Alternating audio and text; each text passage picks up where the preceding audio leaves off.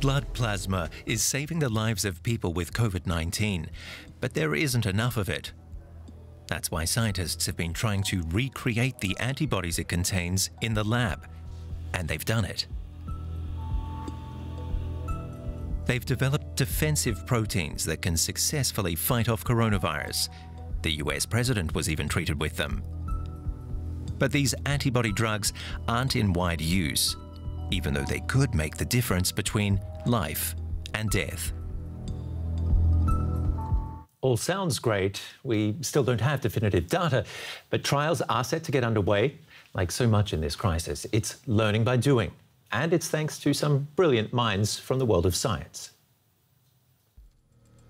This blood plasma can stop a coronavirus infection in its tracks. The antibodies of recovered patients can be used to treat people with COVID 19. It's already proven effective for patients, including Lutfu Daci. At the start, I was very sick. My wife sent me here in an ambulance.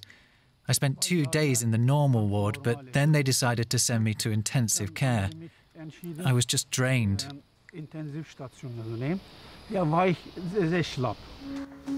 Lutfu's condition became so severe that he was placed on a ventilator. It was then that Dr. Hauber and his team gave him plasma from a recovered patient. The patient received the plasma after his respiratory condition and his lung function deteriorated significantly. Within a day or two, he'd stabilized and we were able to take away the breathing support. To get the plasma, you need blood donors who've already survived COVID 19. Their blood has neutralizing antibodies that can render the coronavirus harmless. The plasma is given to the patient through a transfusion. Then the antibodies within it get to work, fighting the virus before the patient's immune system has produced enough defensive proteins of its own. The plasma clearly did the trick for Lutfu Daci, but the successes remain isolated cases and the general effectiveness is yet to be proven in studies. However, doctors say plasma therapy is helping the most severely ill patients. Many doctors would like to use plasma more often, ideally giving it to patients in the early stages of the disease when it's likely to work best. But the problem is, there isn't enough of it. We've come to realize that everyone who recovers from coronavirus has a different amount of antibodies in their blood. Only those with a high level can be suitable donors. But can the antibodies be produced without the need for a donor? That's exactly what researchers in Braunschweig are working on.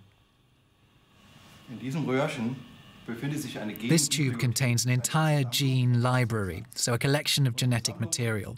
In our collection, we have 10 billion different genes. That's the entire repertoire of what our body has available to produce antibodies. In this gene library, the scientists found an antibody that works perfectly against SARS CoV 2. In lab tests, it completely prevented the human cells from being attacked.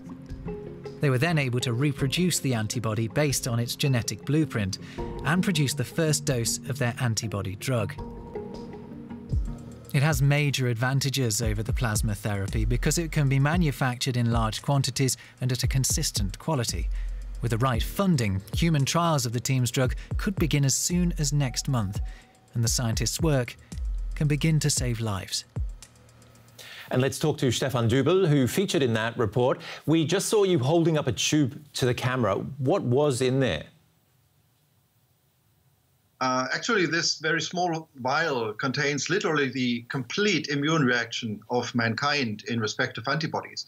So, more than 100 people from all over the globe donated blood, and we extracted from that blood the blueprints to build antibodies against almost everything. So more than 10 billion different blueprints in form of genetic code for antibodies against different diseases are in this vial.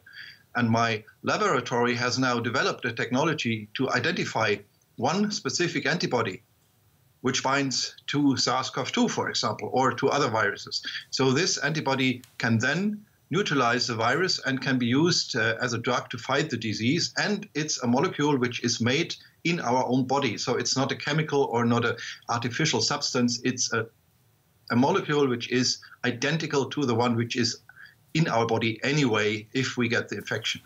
Can you brief me, briefly let me in on the secret? How, how did you actually pinpoint that out of how many did you say? 10 billion. how, how, did you do that?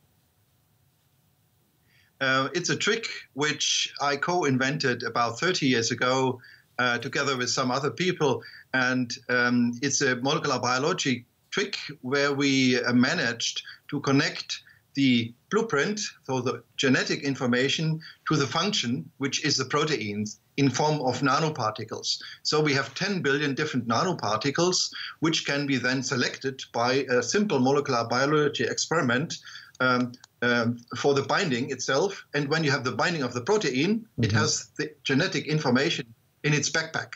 And okay. we can get it back and isolate the clone and get the antibody.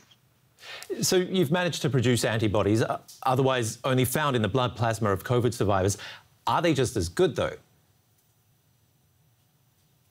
Um, well, that has to be, of course, uh, has to be shown in the clinical studies. But uh, in principle, our antibody uh, is derived from the blood of patients and performed in the blood.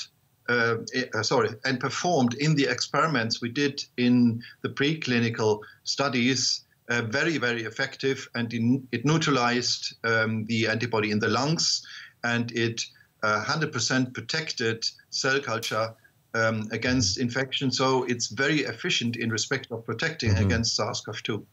What about these clinical studies of antibody therapies that show severe side effects like the overreaction of the immune system? How, how can you prevent that? This is a very important point, and we thought of that uh, since the beginning of the design of our of, of our antibody, and we managed actually to um, address this problem by changing the signaling part of the antibody a little bit by molecular biological means so that we completely avoid the simulation of this uh, overreaction. So in the clinic, we expect not to see any of these overreactions which are seen in the other antibodies. And, and just tell me briefly do antibody treatments provide long term protection against the virus? They provide immediate protection, which is different from uh, the vaccine, but then they only last for about one to three months and have to be repeated, but they can be given repeatedly. Stefan Dübel, thank you very much. Interesting stuff, and congratulations on your work. Let's take a look at some of the other corona related stories making news.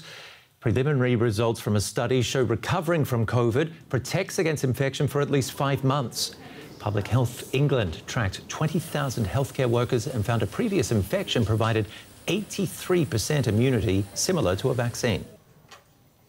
The World Health Organization is looking at introducing COVID 19 vaccination passports for travellers. Some countries are already trialling them. Critics call the passports discriminatory. And WHO scientists are now in the Chinese city of Wuhan to investigate the origins of the pandemic. The long delayed trip follows months of diplomatic wrangling. Beijing argues the virus may not have originated in the southwest, as scientists suspect. Over now to our science correspondent, Derek Williams. If you've got a question, here's the email feedback.english at dw.com. Type expert in the subject line or leave a comment on our YouTube channel. If you get a first vaccine shot made by one developer, what happens if your second shot is from a different developer? As the pandemic reaches a really critical stage in many countries, um, in one of them, Britain, health authorities have changed some rules on how they're going to vaccinate. Um, one of them was this that for the second shot in a two shot regime, in some rare and exceptional circumstances, uh, for example, if the individual concerned is thought to be at immediate high risk, vaccinators will be allowed to mix and match vaccines if they don't have any more of the product from the first shot. So, just to clarify, there are three candidates currently approved for use in the UK from Pfizer BioNTech, from Moderna, and from AstraZeneca. and they all require two shots of the same vaccine to work as well as trials demonstrated. This decision means that if someone there gets the first shot, say, of the Moderna vaccine, when they come back for the second one, they could theoretically receive one made, for example, by AstraZeneca, if the authorities have run out of the Moderna vaccine.